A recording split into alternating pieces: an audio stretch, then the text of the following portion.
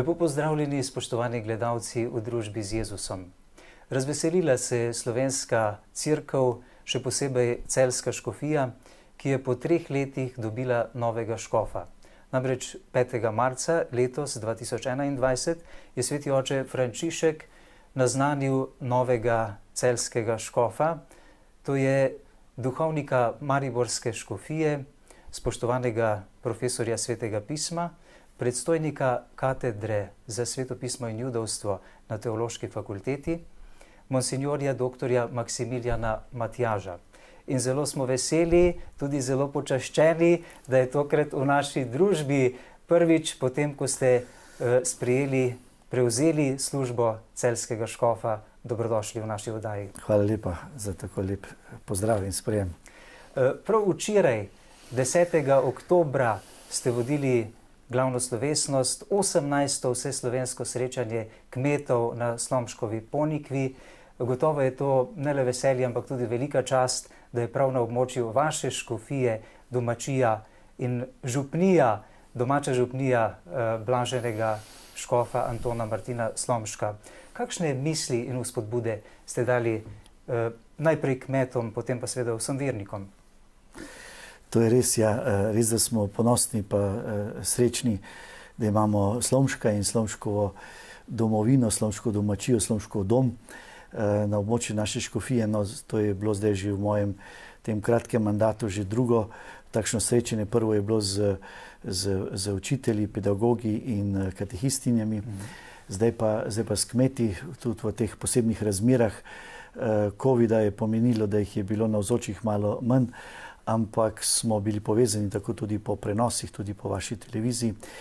Eh, predvsem ta, ta, ta ideja, ta misel, eh, Slomšek kot tisti eh, modri skrbnik slovenstva, slovenske kulture, slovenskega veliko gospodarstva, na nek način tudi kmetstva, vedno znova navdihuje, povezuje in sem hvaležen za to idejo, no, da so si Eh, kmetje prav njega izbrali za svojega posebnega priprošnika. No in eh, včerajšnji dan je bila tako bila priložnost, da smo spet obudili morda kakšno dobro misel, modro misel, eh, Slomškovo. Moto takratnega tega srečanja je bilo očetov blagoslov, naj podpira dom. Ne? In, in prav to se, se mi je zdelo, da se je tako uh, čudovito po uh, po, po, po, po, po, po, povezalo z uh, Božjo besedo tiste te nedelje, včerajšnje nedelje, ki se mi zdi, da bi morala še ves vedno znova odmevati, uh, še danes, še vse, vse te dneve in to je to srečanje tega bogatega mladeniča z, z, z, z Jezusom in, in to uh, Jezusovo potem. Jezusovo, Jezusovo beseda njemu, ko pravi, veš, eno ti manjka. Ne? Eno ti manjka, zato nisi srečen, ker je žalosten odšel. No, in to se mi zdi zelo aktualna misel tudi za, za vse nas, ki zdaj delamo, ki se mučimo, morda tudi, tudi, za, tudi, za, eh, tudi za kmete, še posebej. Ne, eh, a delamo tako, da smo res srečni tudi, ne, a živimo tako, da smo srečni, a verujemo tako, da smo srečni. Ali nam je vira, recimo, predstavlja, tako kot temu mlademu človeku, nam vira predstavlja vendarle samo zgolj neko, neko dožnost, izpolnjevanje nekih zapovedi, prinaša nam pa ne dovolj te radosti, ali po drugi strani tudi delo na, na, na en podoben način. Ne? In uh, zato se mi zdi, da sem takoj vzpostavil v, v, v središče to vprašanje. Eh, ni toliko važno, eh, kaj delam, koliko delam, ampak predvsem ta zavest, za koga delam in kdo sem, ki delam. Če, če se zavedam, da delam za nekega ljubljenega človeka, recimo ljudje normalno delajo za svojo družino, kmetje delajo za te svoje, da je ljubezen tisti pravi motiv, ne? potem smo res tako blizu tudi temu temeljnemu ključnemu vprašanju vire, če je ljubezen naš, naš temeljni motiv, če se zavedamo, kdo smo, da smo ti ljubljeni božji otroci, ne? potem se zavedamo, da smo pravzaprav odgovarjamo na ta velik dar, ki smo ga prijeli in, in živimo v tem daru, ki ga imamo, uh, ki smo ga prijeli in potem, potem je lahko tudi vsako delo, pa tudi vira, pravzaprav nekaj zelo osrečujočega. Eh, kako pa kaj odmeva 30. maj letos v vas? V vašem spominu, v vaši duši, v vašem srcu. To je bil izjemno pomemben dogodek vašega škofovskega posvečenja v največji crkvi, v vaši celski škofiji, crkvi svetega Mohorja in Fortunata v Gornjem gradu. Uh, to je bil izjemen dogodek, uh, ki smo ga večinoma spremljali po televiziji. Kako ste ga pa vi doživeli? Ja, tudi jaz sem ga doživel tako uh, jasno, izjemno in, in v hvaležnosti, ampak tudi v takem nevrjetnem miru. To lahko rečem.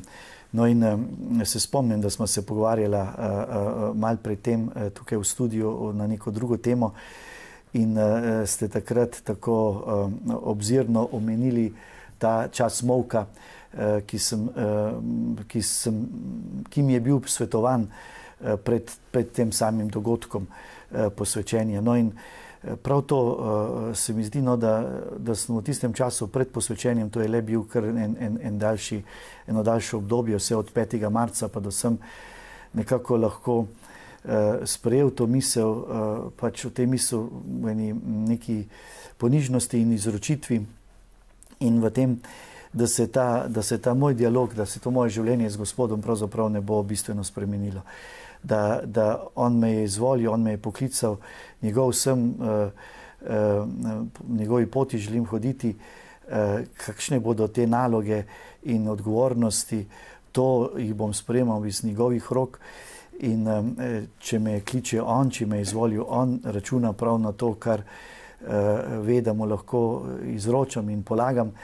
Torej, uh, na nek način sem se osvobodil takrat tega tega strahu, te prevelike odgovornosti in prevelikih zahtev, zavedam se, da, da, da sam niti zdaleč ne bi bil tam, kjer sem in iz svojimi močni, da je to njegov načrt, njegova volja in da se želim v to izročiti. In da ko bom stopal, uh, stopal v, to, v to službo, ko bom živel to službo, mi bo Gospod vsak dan odkrival, pravzaprav nadihoval.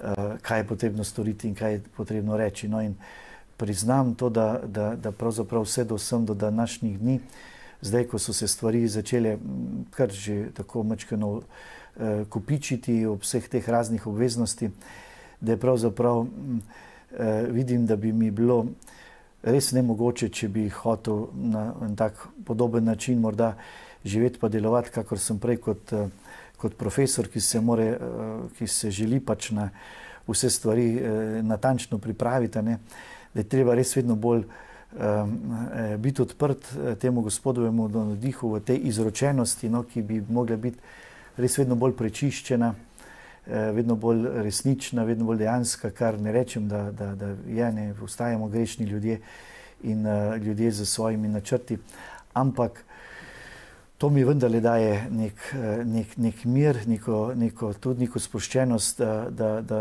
da jaz dam, uložim, izročim Gospodu to, kar sem, pa te svoje sposobnosti, on potem naj vstopa v te besede in misli in dejansko potem se dogajajo stvari in se tako mhm. počasi dogajajo stvari.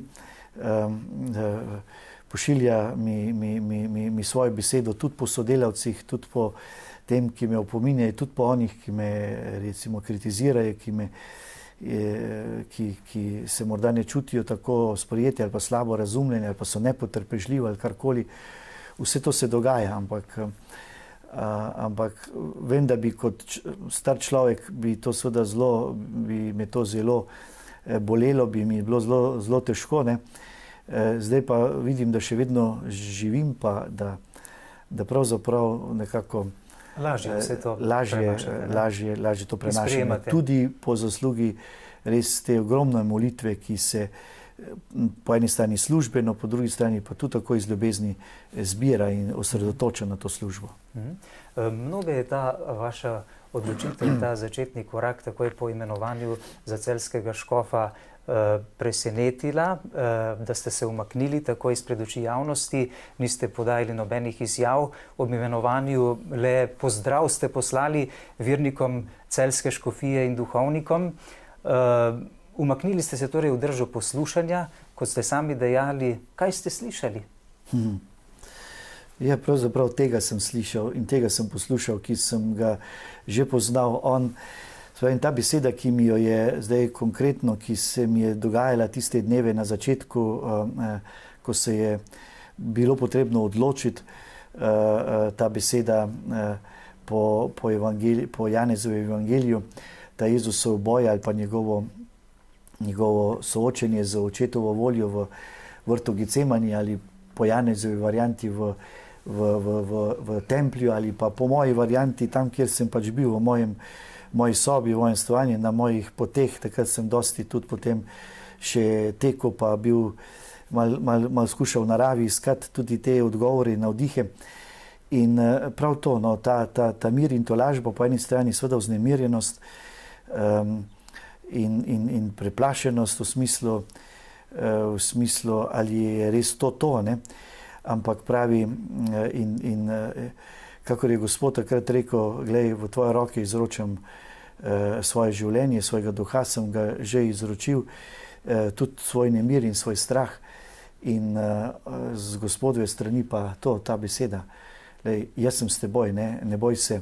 In moje novomašno geslo takrat tudi veliko krat uh, je mi, mi nekako zvanjalo, ne? njim, ki ljubijo Boga, vse pripomore k dobremu.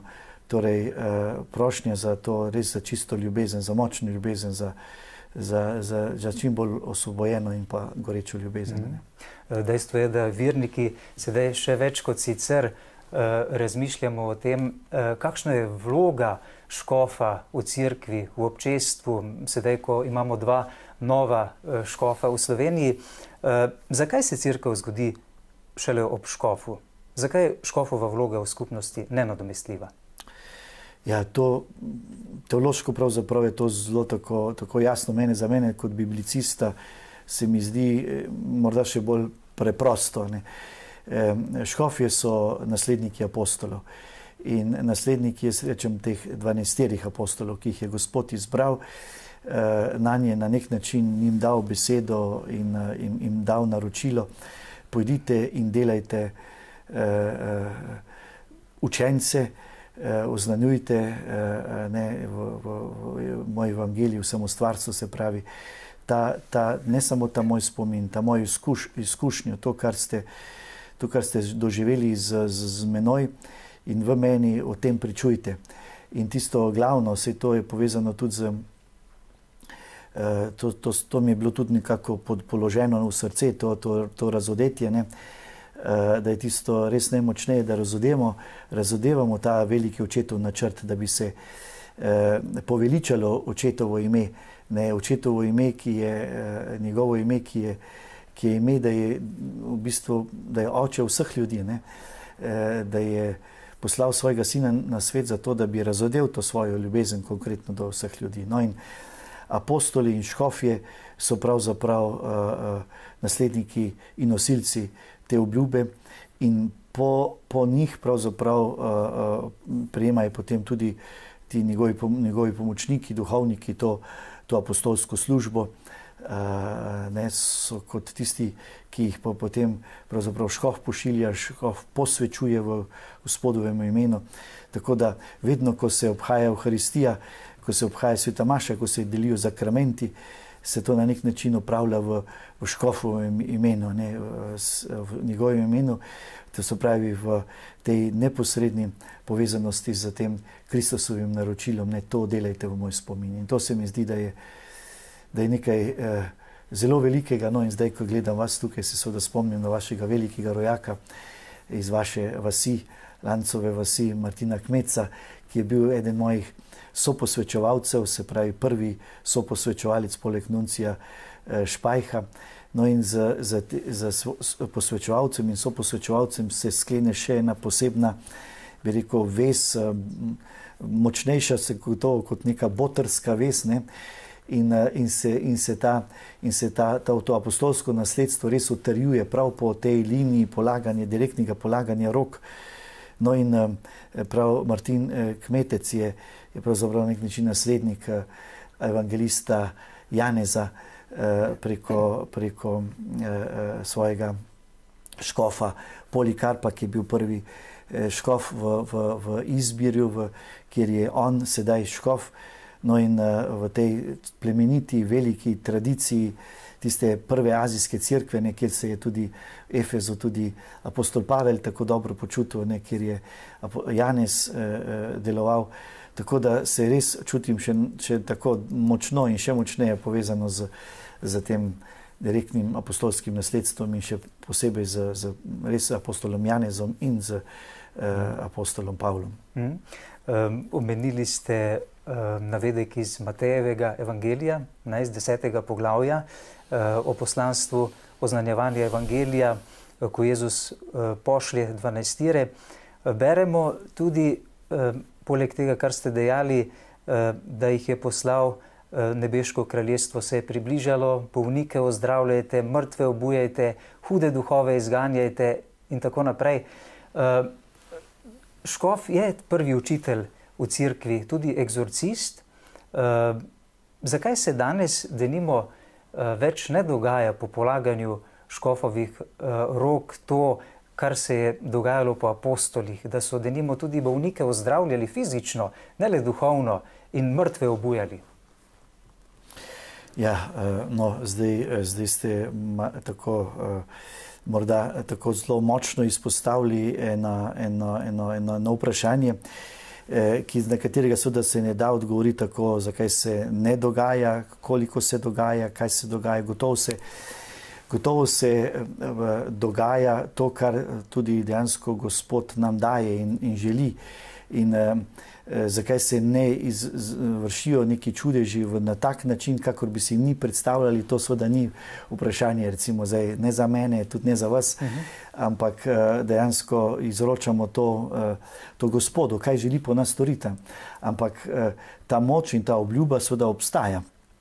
In po polaganju naših rok se, se dogaja, če hočete, največji čudež. Navzočnost in, in, in vstop Boga eh, Božjega Sina v, v, v človeka, v človeško materijo, v vino eh, in kruh, se pravi, v delo naših rok in v, v, v, v sad eh, te zemlje.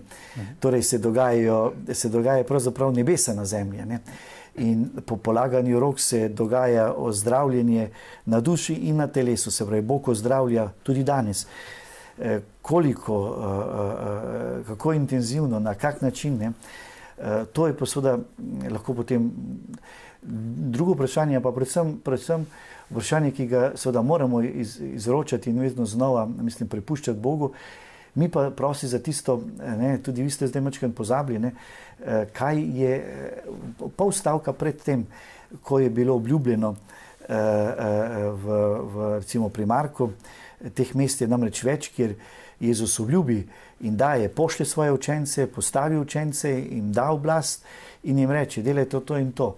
Ampak na tistem ključnem mestu, na začetku, uh, ko jih pokliče na goro, ko jim da to polnomočje tem dvanajstim apostolom, v Markovem evangeliju imamo tu v, 12, v tretjem poglavju, pravi, poklical jih je in jih postavil dvanajst z namenom, da bi bili z njim in da bi jih pošiljal oznanjati, ter da bi imeli moč ozdravljati eh, hude duhove, eh, bolezni in tako dalje.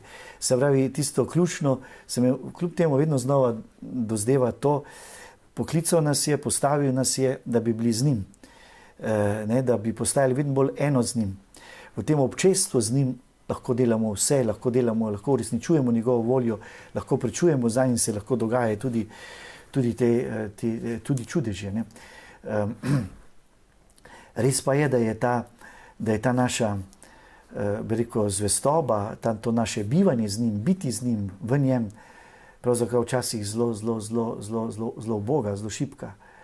Uh, smo pravzaprav še zelo močno v sebi samem, e, e, računamo na svojo moč, delamo iz sebe, iz, iz teh svojih moči, nalagamo na sebe recimo, odgovornosti, dela in bremena, se postavljamo pred Gospoda, ne zavedajoč se, da, da On je v nas. Ne?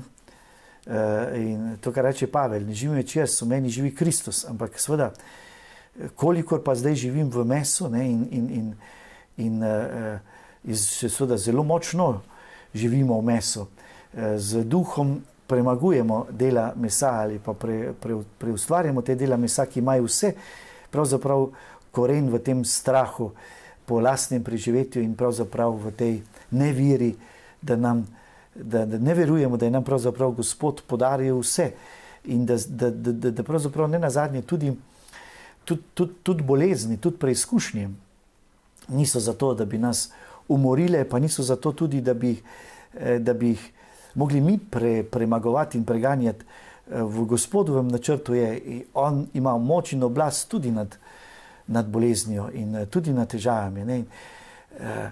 In ne na zadnje, ne na zadnje naj si bo zdravje, naj si bo bolezen, preizkušnje, trpljenje. Vse, vsem se pravzaprav izpolnjuje božji načrt. Kaj pomeni, da ste postali član škofovskega kolegija? Ja, prav to, kar sem zdaj rekel prej, če usmislim, da sem, da, da sem postal član apostolskega zbora, eh, se pravi tega, prav tega zbora apostolov, eh, eh, ki potem povezuje dejansko božje ljudstvo z, z, z, z, tudi z glavo, ki, ki, ki pa je Kristus. Apostolski kolegi še na poseben način predstavlja to, veliko Kristusovo telo, ki ima potem glavo v Kristusu. Ker tudi, ker dejansko škofje bi morali vedno znova, vedno še, še toliko močneje, pravzaprav na sebi čutiti uh, to, to, to, to roko posvečo, posvečevalca in, in Gospoda, in Boga samega in Svetega Duha, ki, ki nas posvečuje, ki vstopa v nas. Ne, uh, tudi zaradi tega, recimo, zdaj lahko, lahko si sposodim judovsko razlago te eh, solideje, ki jo, ki jo, ki jo nosimo, eh, škofje, ne, eh, in ki jo odkrijemo recimo pri liturgiji, pri, pri, pri, pri posvetitvi, posvečenju, se pravi, soli, soli, solidejo pomeni na nek način samo pred Bogom, samo pred Bogom se, sem, sem, sem, sem, se odkrijem, se pravi, se poklonim, a ne samo On je moj in edini Gospod. Na nek način tudi zdaj moramo to razumeti v, v, v kontekstu, ampak judovske, judovska pokrivala na drugi način pa prav to želijo pokazati, ne stalno prisotnost eh, te, te, te roke, božje roke, ki, ki te pošilja, ki te posvečuje, ki, uh, ki te dela, mi rečemo, ki nas, ki nas dela Kristusovo telo in Kristus zdaj dejansko. Uh, ima naše telo, po našem telesu navzoč v tem svetu. Kakšna pa je vaša skupna odgovornost za vesolno crkvo?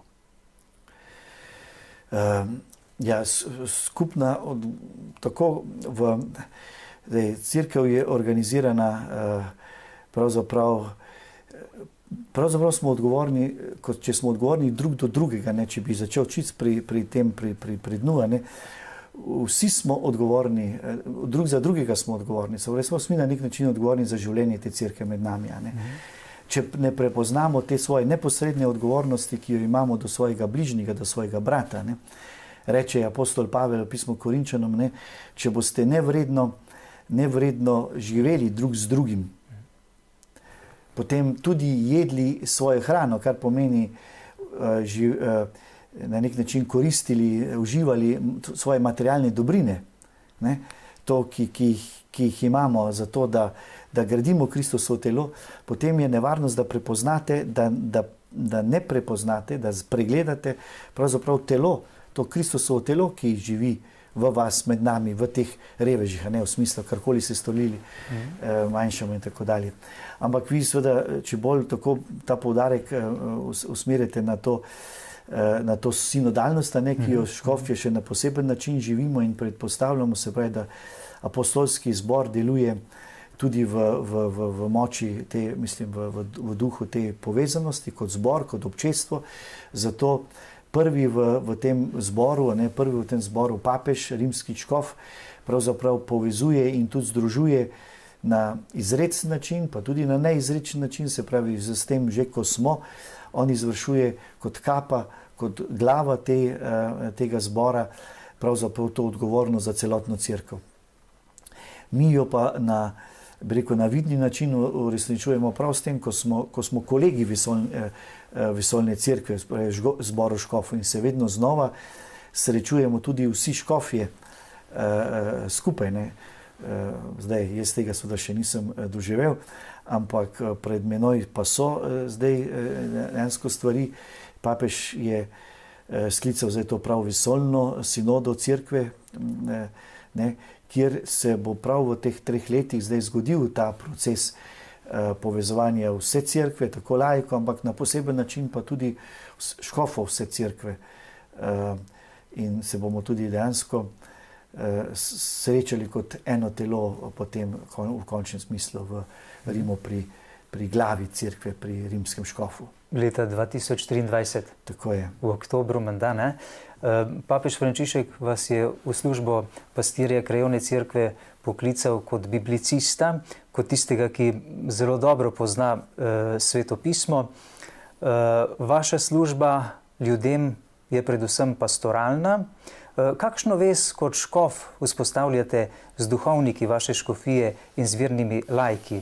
In koliko so za uspešno dušno pastirsko delovanje pomembni škofovi odnosi z duhovniki in božjim ljudstvom?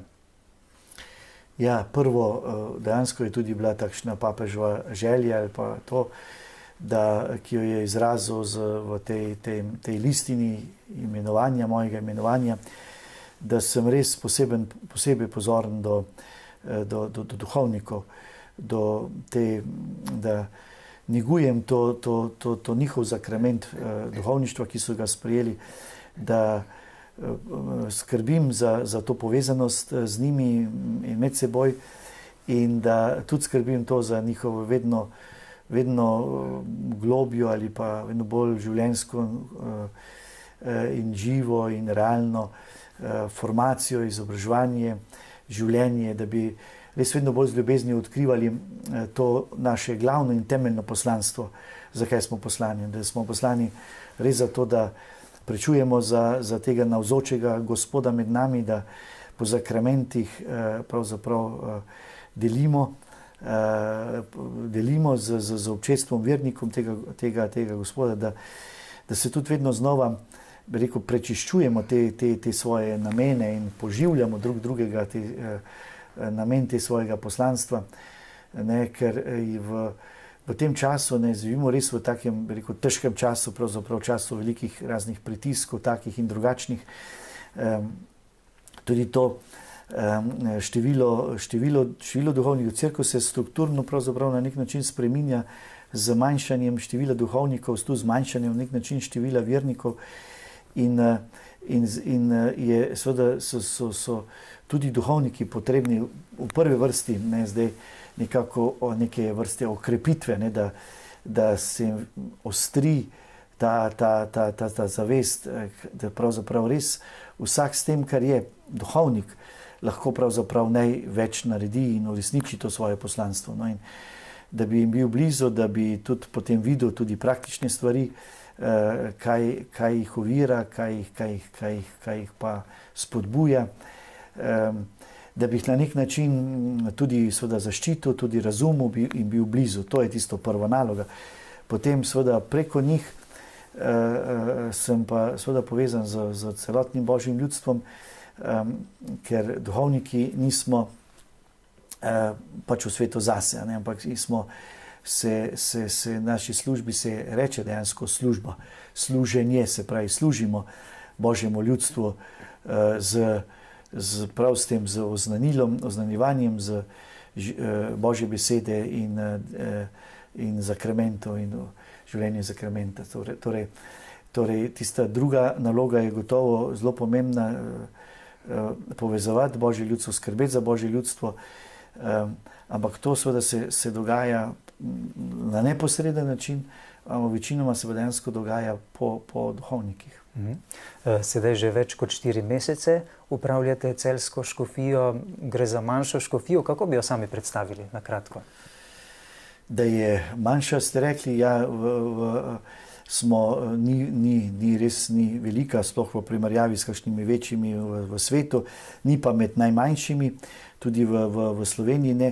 Geografsko se razteža ta škofija, vse od teh. Uh, gor uh, v Kamniško-Savinskih Alp, tako tam se, tam se dotikamo uh, teh lepih, uh, je lepih jezerskih pobočij, pa potem uh, potem gorenske, spodi krajinske, se pravi teh vršač, vršacev v Kamniških Alpah, potem, potem pa sem dol po, po Logarski in se začne tukaj širiti Savinska dolina, razširi tukaj v celskem, na celskem področju, potem gre dol do eh, Save in, in, in sem, sem po, po, po, po Kozjanskem, Šmarskem, tja noter Posavje, eh, vse dol preko, preko Brestanice, Brežic, tukaj še prej Trbovle, Laškega, dol noter do, do, do, uh, do Brežic in do, do Dobove, se pravi, vse do Sotle.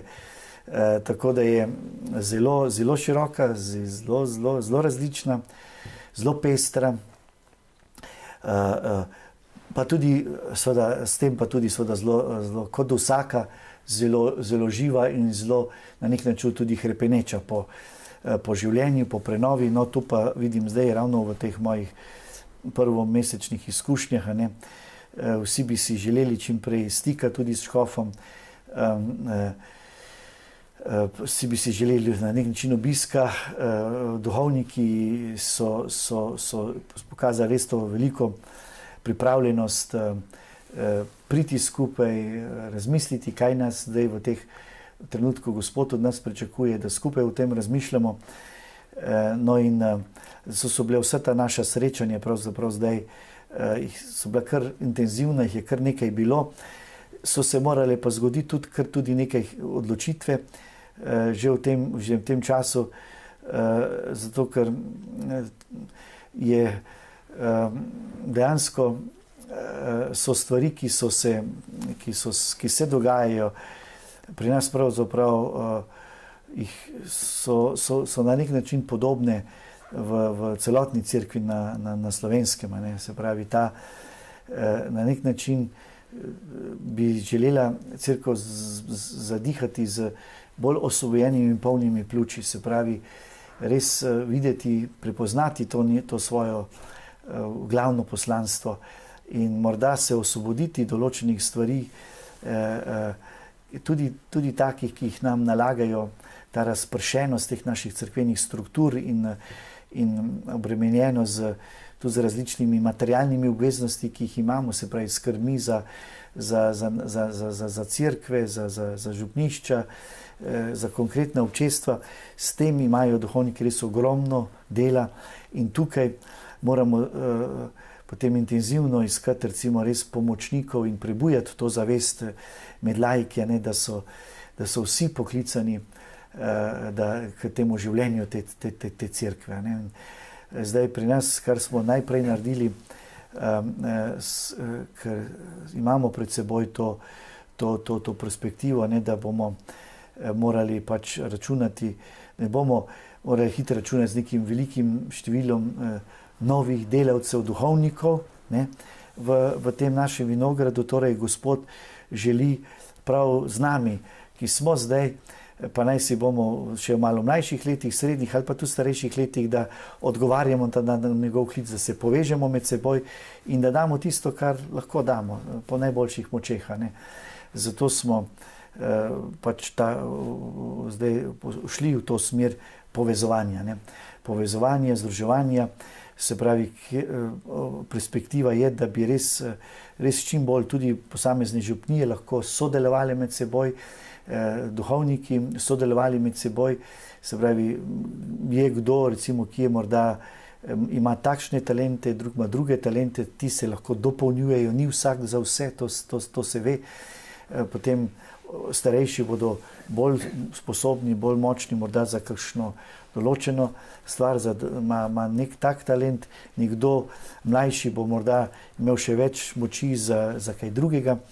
In na ta način bi v tem mikro povezavah, recimo, bi si zelo želel, no, da bi bilo še več sodelovanja med duhovniki v, v posameznih župnijah, pa tudi konkretno pri teh večjih organizacijah, eh, sistemih, ki jim pravimo dekanije. In tukaj smo dejansko naredili en prvi korak, da smo nekako podrli eno, eno mejo med, eh, med posameznimi dekanijami, tako da smo dve dekaniji združili, večinoma dve, dve povezali v eno, um, ponekod celo tri, ki so bile uh, tako male, ne manjše. Prav iz tega razloga občestvenosti. Prav iz tega razloga zdaj nekako pomoč dejansko duhovnikom, da bi še bolj zrasli skupaj v občestvo in lahko si tam bolj, bolj pomagali, bolj mhm. porazdelili uh, te raz, naloge, ki jih, ki jih imajo, in, in da bi našli res eno pravo mesto tam, eno simbiozo, tako morda uh, malo mlajši, kakor starejši. In, če bodo skupaj, uh, bodo, bodo gotovo lahko veliko več naredili, kakor pa če jih preveč omejuje meje, recimo uh mhm. -huh. lastne župnije ali pa potem lastne ne manjše dekanije. Ne. Vi tudi sicer zelo poudarjate uh, to uh, občestvenost, uh, da bi se crkva nekako znebila, uh, da bi, bi od klerikalne prešla k sinodalni crkvi. Ne. Uh, to se vam zdi zelo pomembno, graditev teh občestev, nekako osnovno ne, za preživetje crkve danes. Tako je, to se mi, to vidim zdaj, da je, da, da je pravzaprav uh, to glavno, kar najpomembnejše, pa tisto najmočneje, zdaj, kar, kar, kar duh govori, sploh crkvi v, v svetu. To, to razločujemo prav po, po, tudi po teh odzivih, jih, uh, ali pa spodbudah, ki jih nam daje uh, papež Frančišek. Uh, s, to, s tem sklicem zdaj, ki je na nek način sino, sinode ali pa tega skupne poti. Eh, zavedanje te skupne poti vse crkve, eh, pravzaprav, kar predstavlja dejansko zdaj eh, višek tega, tega njegovega pontifikata, je tu poudarek prav tem, ne, da, da, da samo, samo po drugem, z drugim, smo lahko pravzaprav telo. Ne, ne moremo biti, ne moremo se živeti v neki izoliranosti, biti nek en posameznik. Individualizmu. Individualizmu individualizem je pravzaprav odraz uh, temu, kar lahko potem tudi rečemo, ali pa rojeva potem tako imenovani klerikalizem, ne, kar pomeni samo duhovnika, ne, samo on. Je najprimernejši, najboljši, da naredi to ali ono, in tretje, samo njegova je odgovornost, recimo, za, za, za preživetje crkve, za, za, za, za viro, za, za organizacijo, za vse dela. Ne na zadnje. Sem menda organizacijske stvari bi uh, lahko predal duhovnikom drugemu. Ne? Pa ne, sam, ne samo to, dejansko. Tudi, ne, tudi mišljenje, v bistvu se mora za, začeti spremeniti. Mišljenje, mm -hmm. ne, da, je, da, je, da je res, ko, ko pridemo skupaj, smo bratje in sestre. Kar ste storili, drug, drug drugemu ste meni storili. In, in Kristusa ne morem več srečati, eh, če ga ne, ne prepoznam v bližnjem. Ne? Uh -huh, uh -huh. ni, ni nekaj, rečemo, neke individualne uh, duhovnosti, naprimer, ki bi rekel, lahko živim samo jaz in moj Jezus, recimo na kak način. Uh -huh, uh -huh. Ampak je, je, je ta Jezus v občestvu. Ne? Nikoli uh, sveti duh vedno povezuje, vedno združuje. Hudi duh pa vedno ločuje, pa vedno razbija. Ne, to, to, je, to je ključno ali pa najbolj jasni kamen recimo, tega razločevanja duhov ali pa uh, videza, odkot, odkot prihaja navdih. Če, če je navdih, uh, ki me vodi k drugemu, ki me vodi ven iz sebe, ne, uh, če povezuje, je to, je to božji duh. Uh, če, če ustvarja dejansko sprejemanje, ljubezen. Ne, Če v drugem lahko prepoznavam, recimo Kristusa, je to, je to, je to moči Božjega duha. Ne? Eh, če pa v drugem prepoznavam sovražnika, pa tistega nasprotnika, to je pa ne na zadnji tudi v Bogu, ne eh, poznam nikoga, neko negativno silo, nikoga, ki me hoče eh, zasužniti, mi vzeti mojo svobodo, to pa, to pa od vekomaj naprej govori Satan. Ne? In tu bi moral biti pravzaprav vsak, tudi vernik, preprosti vernik, lajk, tisti, ki bo razločil to, ne? za katerega duha gre tukaj. Ne? To je, eh, tukaj se pravzaprav, eh, ste preomenili to temo eh, eksorcizma. Ne? Verjetno smo bili ali pa postali zelo, zelo slabo senzibilni prav na to razločevanje duhov, ne? da smo to službo, to poslanstvo, ki smo ga sprejeli z, z, z krstom, sveto obiramo, tam, tam smo sprejeli pravzaprav dar svetega duha in, in, in, in negovati eh, dar, dar svetega duha in dar za razločevanje uh mhm. -huh. pomeni, da prepoznavaš uh, potem tudi delovanje negativnega duha. Uh -huh. uh, in, in ravno te dni smo brali v Božji besedi pri Maši ta evangelij, kako, kako, kako Jezus svari. Pazite se, ne, če um, se boste na nek način pomekli svojo hišo, pa rekli, zdaj pri meni, jaz sem se izročil eh, Božjemu duhu, zdaj hudega duha sploh več ni. Ne, ker sem rekel, krščen, sem verni in tako dalje, hodim k maši, mm. ni hudega duha. To, to pomeni, sem pometel svojo hišo. Ha, pravi, po, poslušajte, ne, bo eh, hudi duh bo šel iz tega, ne, iz tvoje hiše, iz tvoje sobe, ampak potem bo začel hoditi okrog in eh, ko bo videl tam nepripravljena, pometena in čista hiša, si bo vzel še sedem drugih in bo prišel v to zastra, nezastraženo, odprto hišo in stanje tega človeka bo hujše, kakor je bila prej. Mm -hmm. Ta, zakaj nas Jezus spodbuje vedno znova k čuječnosti? E, zato, ker je pravzaprav ta, ta boj med hudim in, in dobrim traja, traja, traja vedno. In, in ta, dokler živimo v mesu, kaj želi to, to, to meso, kaj želi ta stari človek v meni? Želi ohraniti nekaj, kar se pravzaprav ne da ohraniti. Ne? E, telo umira.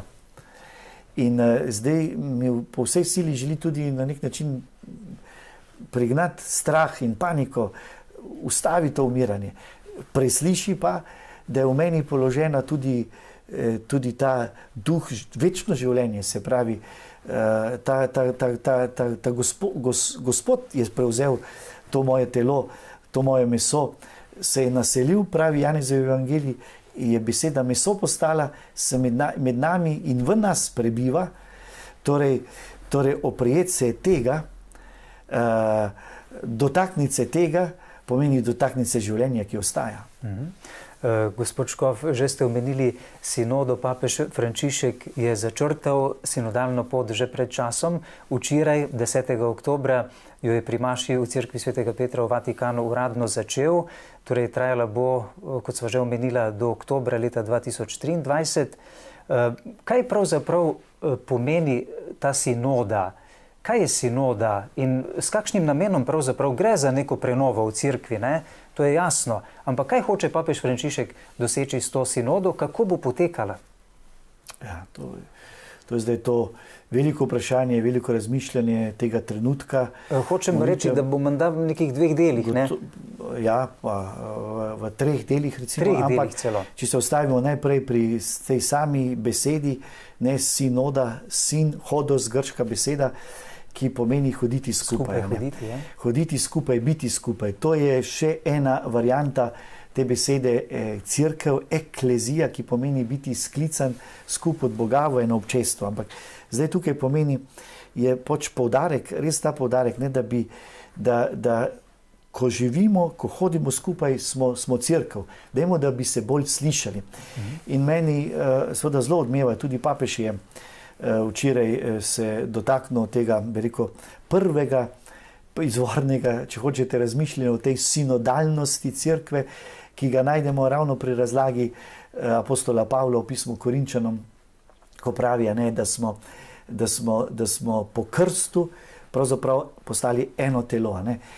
Različni udje, ampak eno telo. In potem pravi, skrbite, poslušajte te udje, ko pravi tisti, ki je šibek ali pa tisti, ki je malo oddaljen, tisti, ki je morda nečasten. Ne, Potrebuje še eno posebno pozornost. In prav to želi tudi papež zdaj, zdaj reči. Uh, a, se še slišimo, preverimo to, kako se slišimo. A se mhm. sliši še telo, še, še, še, še sliši glava, se pravi, škofje, duhovniki, to, kar so potrebe ljudi. Da je toliko ljudi šlo iz cerkve, ne, odhaja iz cerkve, zapušča cerkev, pomeni, da se ne prav slišimo. Ne. Eh, da je problem tukaj pri nas, pri, pri tem slišanju, da smo morda mi si naredili neko predstavo, eh, morda ti vodilni v cerkvi ali, ali ne ki pa jo več ne delimo, ali pa jo pa ljudje, ki so pa tudi člani crkve, ampak so, so, so oddaljeni, so na obrobju, imajo pa drugačno, si pa želijo nekaj drugega. Torej, predvsem to, to, to, to, da bi se slišali, da bi skupaj hodili, da bi se slišali, da bi tukaj skupaj prebujali to svojo identiteto, se zavedali, kdo to smo. No, in zdaj ta proces, kako, kako se slišati, bo pa seveda zelo, zelo. Um, mogel biti zelo pester in uh, in bomo tukaj mogli biti zelo ustvarjalni, se pravi, zelo biti odprti svetemu duhu, ki bo na nek način res pokazal. In če bomo skupaj, če bomo prihajali skupaj, bo dajo znamenje. Jaz lahko pričujem, res zato danes smo imeli prvo, eh, prvo srečanje. Zdaj, vseh teh uh, referentov, škofijskih za, za sinodo, se pravi, vseh šestih škofij, smo se dobili v celju in smo te prve korake, prve metode, kaj smo že uh, začeli, kako smo že, že postavili stvari, ki so zelo, se zdaj hitro dogajajo, smo si podelili in se je videlo, no, da ko smo prišli skupaj, začetka smo bili mačkano tako, za vse je pač to malo hitro in uh, uh -huh. se počutimo, pa ne veš, kako bomo ta glas najprej pripeljali do tistih tja, nekje na obrobje, to, kar je namen in smisel, ne? kako, bo potem, kako bomo jih nagovorili, da bodo spregovorili, kako bomo potem spet uh, nazaj dobili ta, te, te odmeve. Ampak videl sem no, veliko te ustvarjalnosti zdaj med uh, temi uh, duhovniki in lajki, no, ki, so, uh, ki so zdaj zbrani v, teh, v, tem, v tem prvem. Uh, uh, prvem gremiju tega tajništva, eh, no, bomo začeli na tej liturgični, molitveni ravni.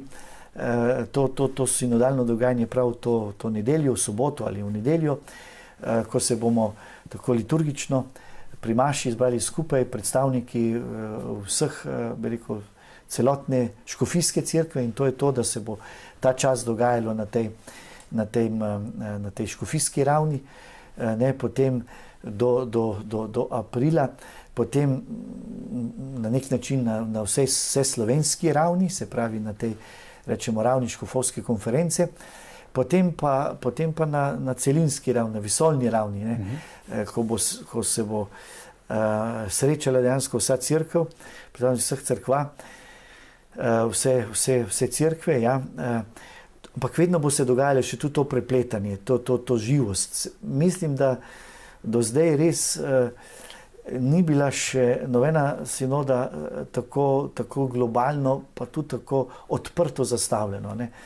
Da bi res lahko prestregli glasove, da bi prišli čim več ljudi do, do, do besede, uh, da bi res krepili ta občutek no, da smo crkva. No, da, da, da smo slišali. Da smo, ja, pa da ja, slišim, povem, da slišimo tudi samega sebe, da slišimo mi Boga.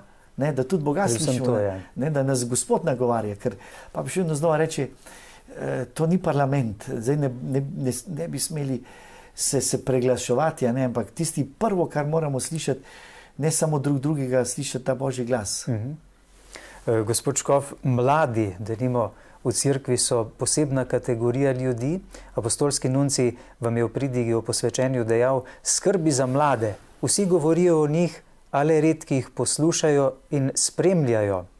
Kaj se obeta na področju pastorale mladih v vaši škofiji?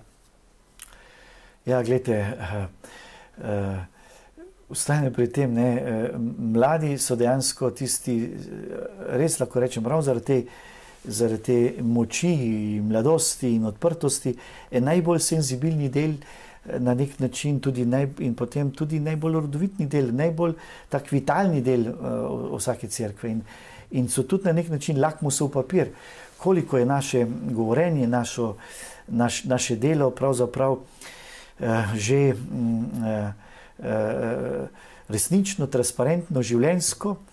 Uh, vidimo po, njem, kol, po, po njih, koliko je slišano, koliko jih lahko uspemo nagovoriti. In delati za mladim, delati z mladimi pomeni, pomeni pravzaprav za nas vse pristno živeti, pristno znanjati. Ker, ker mladi so kritični, eh, zato, ker, zato ker stvari vzamejo resno in presojejo in vidijo. Eh, in zato, eh, lede, eh, mi bomo poskušali pravzaprav vse, kaj delamo, pravzaprav dela tudi tako, da bomo lahko nagovorili tudi mlade, da bodo se mladi tukaj čutili, ne, da, je, eh, da, pravzaprav, da pravzaprav gre za njih. Ampak ne bi rad, da bi na nek način nalagali jim neka nova bremena ne, in, in zdaj. Pa tudi na nek način šli se v neko kategorijalno, recimo pastoralo, uh -huh. uh, uh, ampak seveda moramo biti seveda veliko bolj senzibilni za tisto pristno, za, za, za, za, za globalno, recimo tu za tisto, kar je resnično. In potem bodo mladi to začutili in, in se bodo čutili nagoreni, ker kaj želi mlad človek, želi živeti, želi živeti na polno. To je tisti tist njegov, njihov stalni uh, naboj in potencial. Uh, in če bodo začutili, da, da, da zdaj od nas, tudi vsakega izmed nas, ne, da, da so nam dragoceni, da, da, da, da mislimo resno, da jih imamo radi, uh, uh, da pravzaprav to, kar sem prej na začetku rekel, pri, pri, pri kmetih, pri teh motivacijah za delo, ne, uh, da se pravzaprav delamo za njih, se pravi. Mi, mi, mi delamo tako, moramo tako znani, da bodo vse generacije, posebej tiste, ki prihajajo, še lahko sprejeli Kristusa, ne, da ne bo se ta Kristus, to znanilo, ostavilo pri nas. No, in uh, v tem smislu želimo tudi to sinodo tako zastaviti. Uh, morda je z nami, ne, mi bomo začeli pravzaprav z eno molitvijo mladih uh, uh, na, na vigilijo pred nedeljo, uh, potem te sinode 17. 17. oktobra. Nedolgo nazaj se je začelo novo šolsko leto, tudi veroučno leto. Ali ste uvedli tudi kakšne nove pas, katehetske pristope za veroučence. Ja, eh, to smo imeli že tudi prvo eh, zadnjič, eh, prav to soboto, srečanje vseh katehistov, se pravi tega združenja katehistin in katehistov naše škofije. Zelo veliko število se je ozvalo in veliko je bilo tam slišati o teh izzivih. Veliko vidim tudi te, te, te pripravljenosti, ne, da, da, da, da naredimo ta, ta, ta prehod, da živimo ta, ta, to, to, to. Vsi se zavedamo, no, da moramo priti iz, iz tega tako imenovanega uka in veruka v katehezu, v to celostno, uh, celostno podajanje oznanila Jezusa Kristusa, v ta misijonsko oznanilo.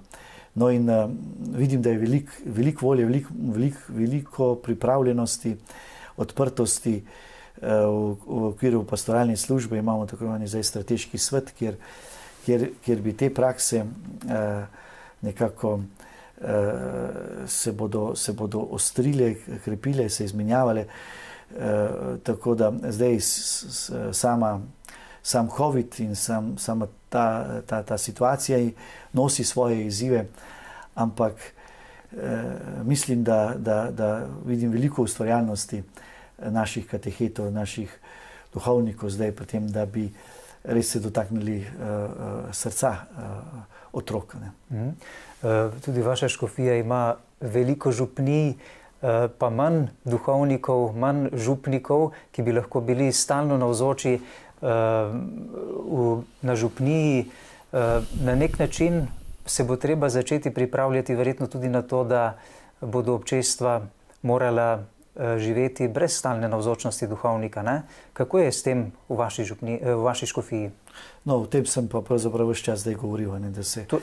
da se pravzaprav, eh, ko gradimo to občestvenost in to zavest in prav to sinodalnost, ne, da, smo, da smo vsi, eh, da vsi, vsi crkva, ne, to tudi pomeni, da, da, se, da se na nek način pripravljamo. Eh, eh, na ta čas in da, da, da, da, da odpiramo oči in srce eh, za, za ta poklic. In, in najprej, gotovo, tisti, ki smo nekako bližje in tudi bolj odgovorni, bomo mogli to novo mentaliteto in mišljenje sprejeti, potem pa počasi tudi ostali. Ne? In vidim, da počasi raste, raste, ampak zdaj je vsak premik, je seveda težak, se je zdaj videlo pri, tudi pri premikanju duhovnikov hitro se ljudje navadimo na neko ustaljenost. Ne, eh, spremembe so sicer zanimive, so pa težke. Dokler govorimo o spremembah in, in o željah, uh, smo vsi navdušeni, ko se pa ta tiče, ta sprememba mene, je pa, je pa, že, je pa težje. Uh, to, to, to, to vidim tudi, čutim na tem svoji, svoji zdaj poziciji in vlogi. Uh, velika pričakovanja od škofa. Uh, uh, in, uh, ampak seveda je hitro potem, če škof pa mal preveč je bi bil aktiven, pa se zgodijo tudi preveliko sprememb, je pa, je pa spet, spet, spet mal strah in eh, mal, mal, mal zadržanje.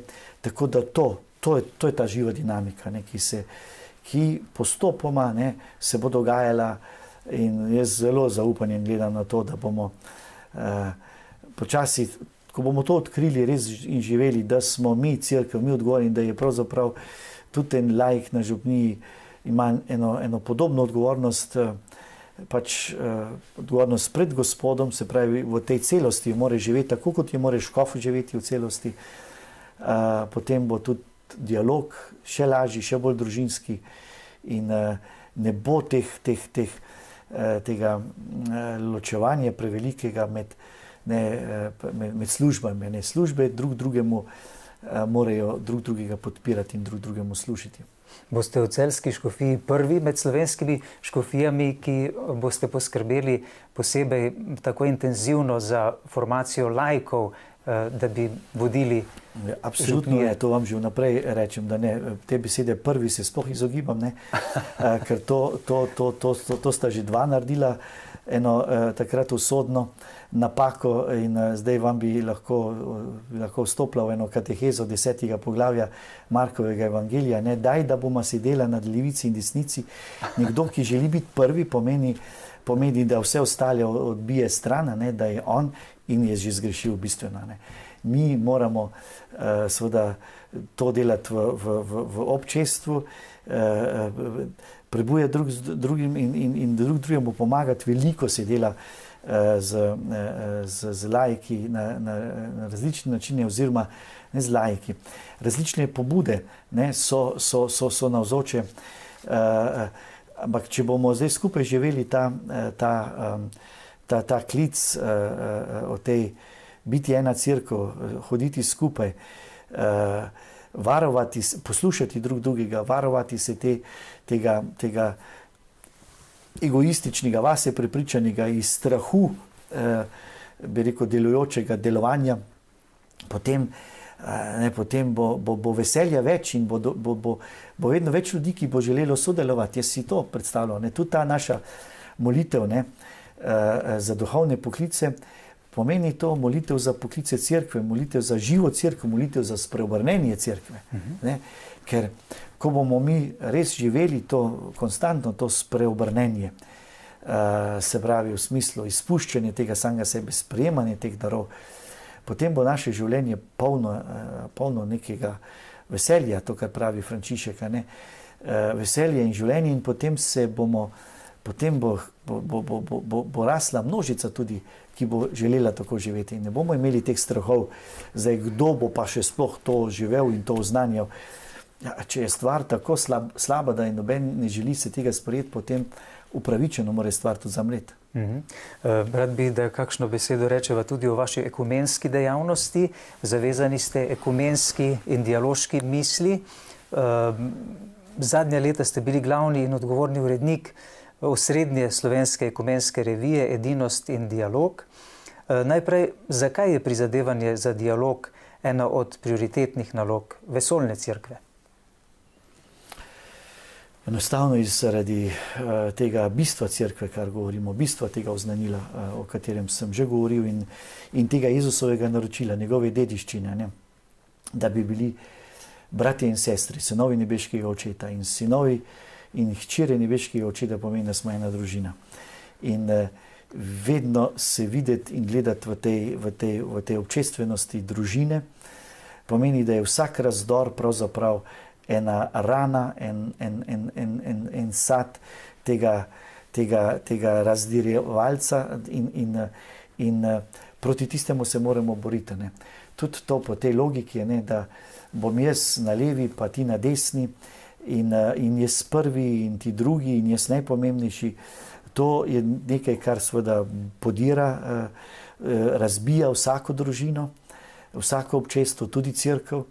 Eh, torej smo poklicani, da eh, jasno, katoličani med seboj, kristijani, da, da, vedno, da živimo, da, da se začnemo res vedno bolj ljubiti in vedno bolj spoštovati in vedno bolj ceniti. No in konkretne in videti, koliko pravzaprav, koliko pravzaprav lahko dobimo tudi drug od drugega, uh, ta različnost nas, nas bogati. Uh, In uh, sem hvaležen tudi za ta, za ta prostor tukaj uh, naši, uh, na, na tem našem koncu, Mariborska škofija, uh, pa tudi Slomšek in, in, in, in, in vsa ta tradicija je bila vedno zelo, zelo odprta za to povezovanje in okumenizem, zato tudi k nam zelo radi pri, pri, prihajajo bratje, tako evangeličani, protestanti, kakor tudi pravoslavni in, in to tradicijo in to skupno hojo mislimo živeti tudi naprej.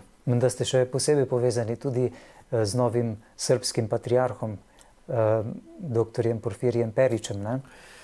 Tako je, se poznamo prav iz tega ekumenskega življenja prejše, eh, prek sodelovanja v različnih, različnih simpozijih, inštitutih, tudi ko je bil potem, še prej, ko je bil profesor, potem, ko je bil že ljubljanski in zagrebski škof. No in, in tudi zdaj, še na, na poseben način, oba živimo za to apostolsko službo. No in sem, sem, sem, sem vesel, sem pripričan, no, da bo pravoslavna crkva zdaj tudi pod njegovim vodstvom, ne, tako čutim, da se po tej, po tej viri, po, po teologiji si zelo prihajamo blizu. Razne, razni, razne človeške, rekel, človeške uvire, kakorkoli pa so že, to so pa tudi izzivi, tako v vsaki crkvi, kakor tudi med crkvami, vedno znova spodbuda za, za neko ponižno, pa bolj poglobljeno delo, ne, drug z drugim. Uh -huh. uh, gospod Škov, pred kratkim je pri vas na Teharjah pri celju potekala vsakoletna spominska slovesnost za okoli 5000 izvensodno pomorjenimi, ki so jih po drugi svetovni vojni umorile komunistične oblasti v Sloveniji. Vaš predhodnik na škofovskem sedežu, škof Stanislav Lipovšek, ki je vodil spominsko mašo, je v nagovoru dejal, da smo virni v nevarnosti, da bi mogli reči, da se naj pokesajo zločinci in povzročitelji zla in trpljenja, kar je res, je dejal.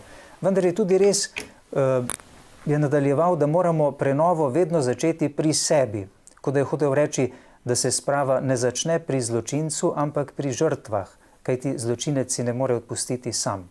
Kakšno pa je vaše stališče do slovenske sprave? Ne na zadnje boste verjetno uh, prihodnje slovesnosti vodili tudi vi na teh harjah?